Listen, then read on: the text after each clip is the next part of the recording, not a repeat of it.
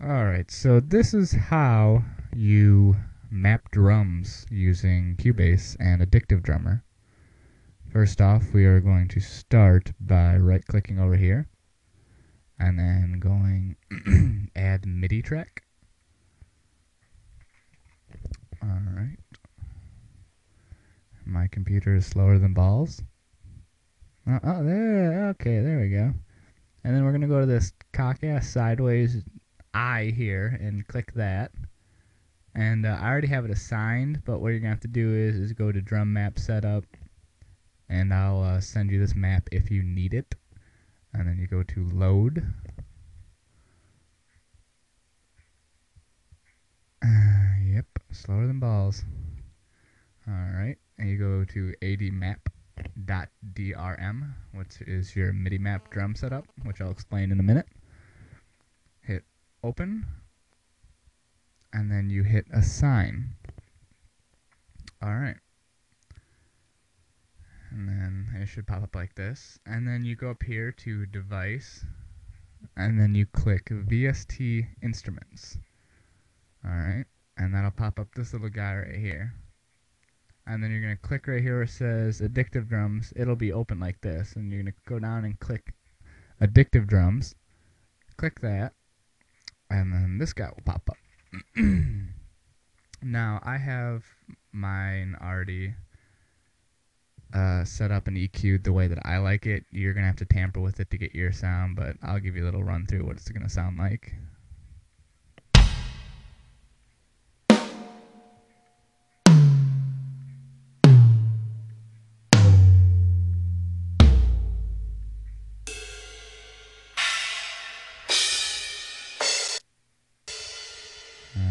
My computer starts to freeze.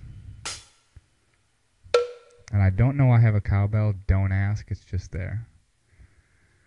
All right. So we have everything open to start mapping. So what you're going to go to is this little guy right here, and it's called Draw. It's weird. Shaped like a pencil and everything. You're going to click that, and then you're going to highlight and drag over, just like that. Oh, and uh, sorry, you have to come over here to where it says uh, output. Click that and go and click addictive drums. So now it's recognizing that as the MIDI channel and whatnot. All right, so double click the event that you just drew, and it'll pop up. And then I'm gonna highlight up here real quick and just make a little highlight spot. It's okay. So here we go. We got your bass drum, and uh, I have these all mapped out, but as you can see, this is your bass drum. This is a side snare hit wheelie. This is a little bit of a lesser hit. This is a stick click. And if you're not retarded and reading along, then you'd understand what the rest of these are.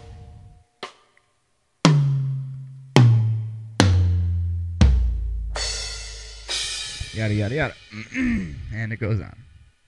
So, we're just gonna make a simple little beat right here. Let's do a bass drum, snare drum, bass drum, snare drum, bass drum. Oh, sometimes that happens. It'll piss you off. And then uh, we'll add a crash cymbal and uh, do some uh, hi hats. Oh, that's a pedal hi hat. My bad.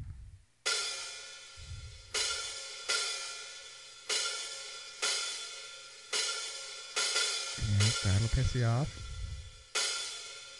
Alright.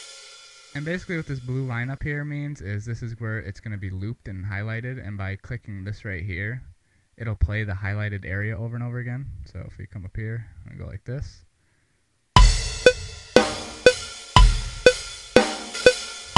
Sorry, I'll turn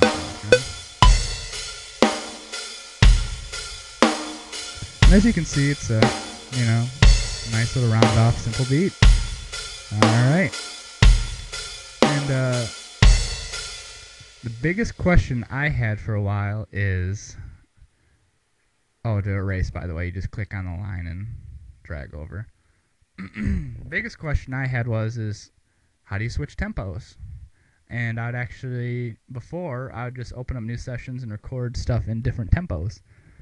Found out there's an easier way because Cubase is awesome. What you do is just hit Control T and I'll pop up this, and as you can see along the side is all the BPMs, beats per minute, and uh, you can actually like draw weird time signatures and all kinds of weird stuff. Like for instance, if you want a song that's really just out there, you can I don't know do stuff like this. It's completely irrelevant, but whatever. Um. Anyway, so if you're into death metal, like I am, I'd bring the uh, thing up here. Let's go 220, and uh, let's go back and do a little, make a little blast beat.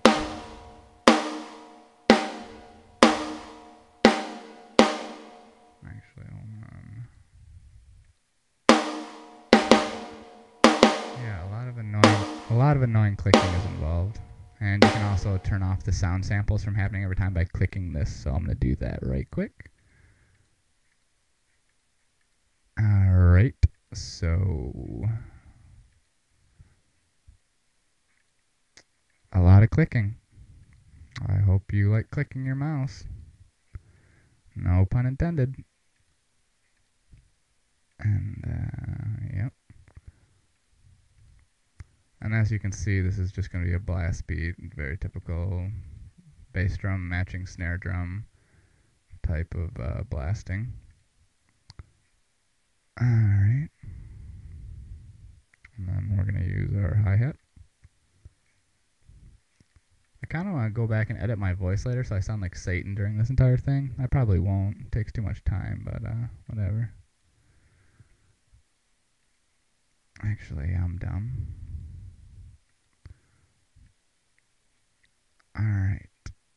Oops. So let's see what this sounds like.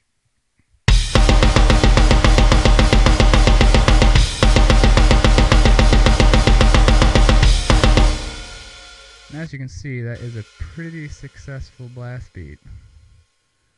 And what I'm going to do is, just so I can show you the variance in tempos, I'm going to take and this loop that I just made of this uh, blast beat,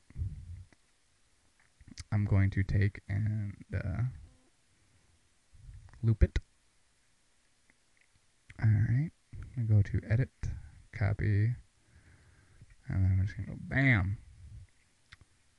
Now this is where that tempo thing comes in handy. You hit Control T.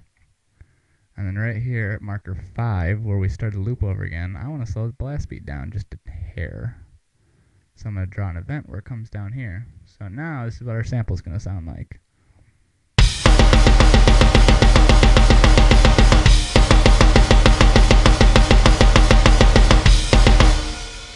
So yeah, very nifty. Um. So yeah, that's pretty much how you map drums. You got to have a little bit of knowledge about drumming and whatnot to actually program drums. You know, you got to know how drums are supposed to sound to a song, or else you can just make completely random stuff, whatever you want to do. But yeah, it's pretty much how you do it.